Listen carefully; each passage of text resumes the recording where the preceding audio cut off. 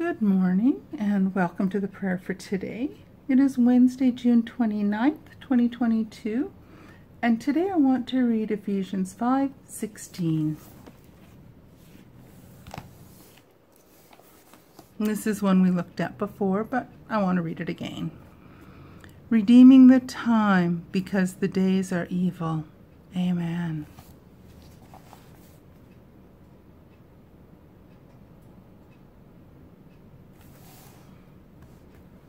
Father God, I put myself into a bind because I procrastinated.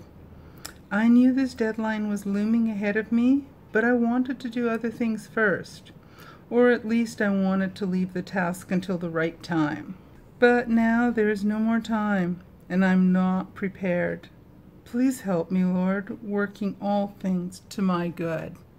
Amen. Thank you so much for joining me this morning. Take care, God bless you, and I will see you tomorrow.